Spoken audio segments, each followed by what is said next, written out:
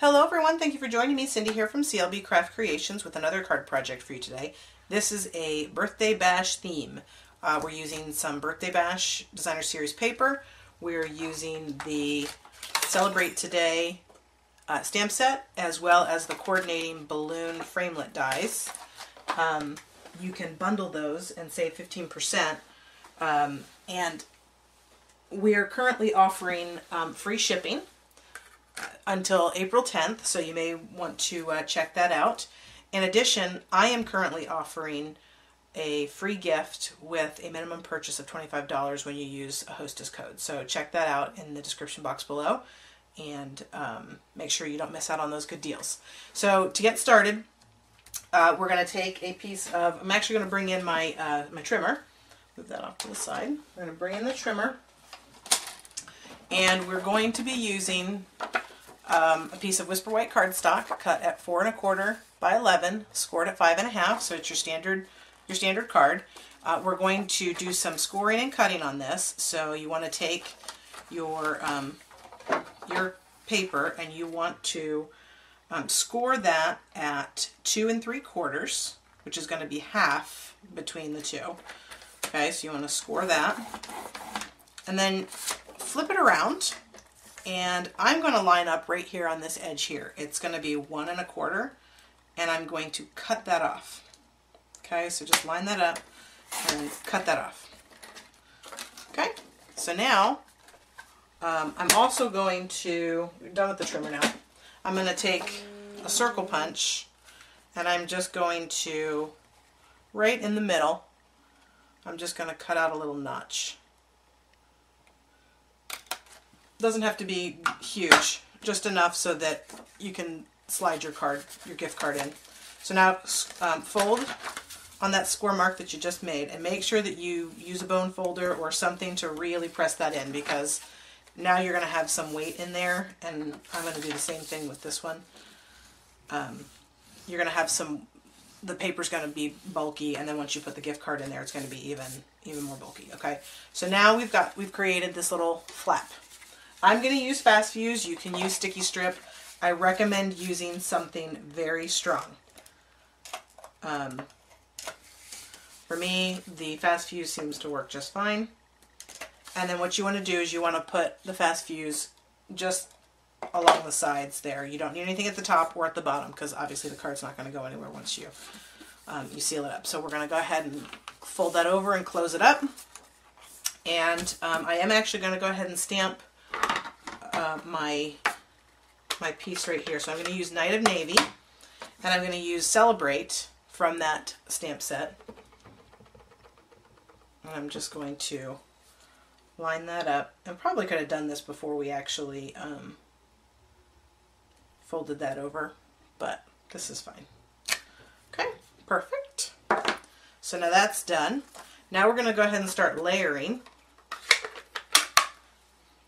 we're going to take a piece of crushed curry cardstock, which is cut at four by five and a um, five and a quarter, and just with some snail. Just layer that up. It's going to be your inside piece. So just center that like you would normally.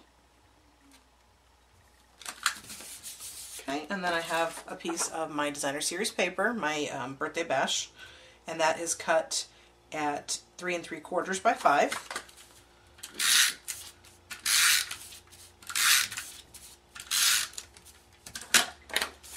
Okay. Center that on there. Now the next thing we're going to do is we're going to put our layering pieces out here. So piece of crushed curry, which is cut at um, four by two and a half so that that, that just centers right onto that little piece. To remember my measurements. Okay, so we'll just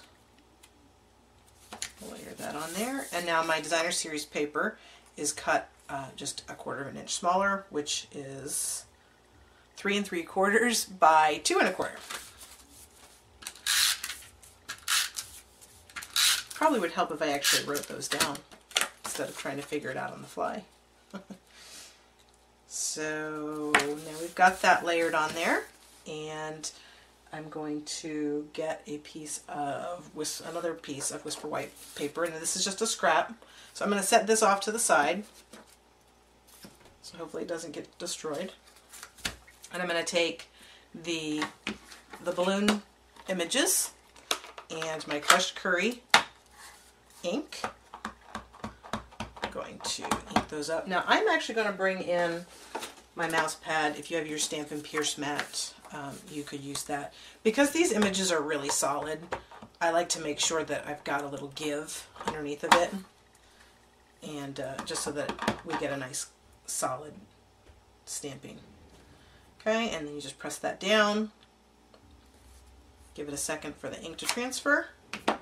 And I know I've said this before, the, um, the ink tends to go on a little splotchy, but as it dries, it definitely gets smoother as the, the ink absorbs into the paper. Okay, now I'm taking the other balloon stamp that says happy, and I'm again in the crushed curry. Stamping that. And I'm going to take the birthday, which was in that same set, and I'm going to use the Night of Navy again. And I'm going to stamp that right under the happy.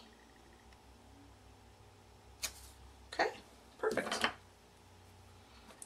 That is all the stamping that we need to do now. i put these away. And I've already gone ahead and die cut those out just to save time, but I'll show you, just knock my light. I will show you, I just love that these coordinate so, so well. So you just line that up and then you'd run those through. These, the, the ink is still a little damp too, so be careful. Um, but you just run those through and then you would get your your two die cuts. Now see, you can see how much smoother that stamping is as it's had time to dry. So our next step, let's bring back in our card. I have a piece of Night of Navy cardstock, which is cut at an inch by nine and three quarters so that it will wrap around. It serves as my belly band. Now, this one, I left the the plain balloon on the outside and then I realized afterwards that there really isn't anywhere to write on the inside with this designer series paper. And I didn't want to put, I didn't want to put um, a piece of white paper on there to, to mask up that paper.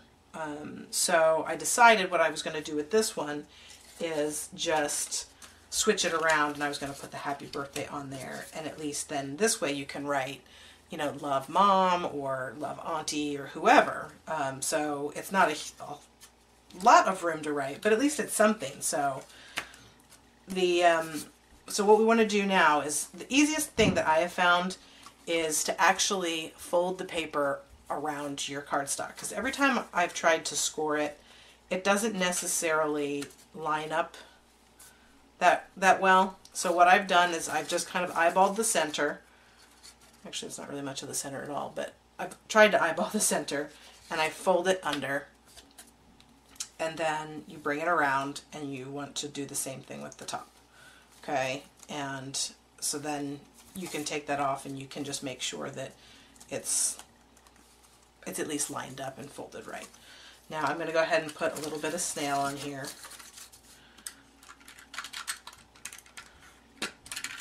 It'll go. Okay, we're not advancing. There we go. Okay, so I'm going to do a little bit there and then a little on the underside of the other piece. And then I will go ahead and wrap this again. So just lining it up with the center of my card and then folding it over and just giving it a little press. Now, my husband was screaming down uh, into the basement. Um, okay, so where was I? Um, so the stamp, th this cutout is actually large enough to cover over the um, the seam of this. And I didn't, I wanted it to be a nice clean look on the back. So the next step is to just add some dimensionals. And I'm going to actually add the dimensionals right to the belly band so that I can make sure that it's it's centered. And of course I could have probably lined those up a little bit better. Let's take that down a little bit further. Okay, take those off. And then just center this up the best you can on your belly band. Now this is the tricky part because now you have to get this piece under here so that it's exact when your when your belly band is securing your card. So I just put some snail on the back. Make sure that your belly band is where you'd want it to be. And I'm having it right there in the center of my card. And now what I'm going to do is I'm just going to kind of bow it a little. Actually, you got to make sure that your your underneath card is with you. So I'm just going to bow it a little bit so that it it kind of opens up, and then I'm going to just hold. Now I'm holding the balloon from the front. Um, again, make sure that it's going the right direction before you go in and do this part. And now that I've, I'm holding it and I know exactly where I want it, I'm just going to hold it down. And now it is secured on there. And then of course you can just slide this over and then give this a little a little rub. And it's done. So there's still a nice little place there that you can write. It says happy birthday, celebrate, perfect little slot here for your gift card. And that way you've got a gift and a card all at once. So there you go. I hope that you liked this. This was um, actually really fun to do. Um, it's always nice to change things up a little bit. And I know that I give gift cards all the time, so uh, finding creative ways to gift them is always a challenge. Um, so hopefully you'll give this a try. I really enjoyed it and hope you did too. Hit that like button, subscribe to my channel, and leave me a comment. Let me know what you thought. And uh, don't forget to check out that free shipping deal and the free gift that I'm offering when you use the hostess code. And uh, I'll see you next time. Thanks, guys.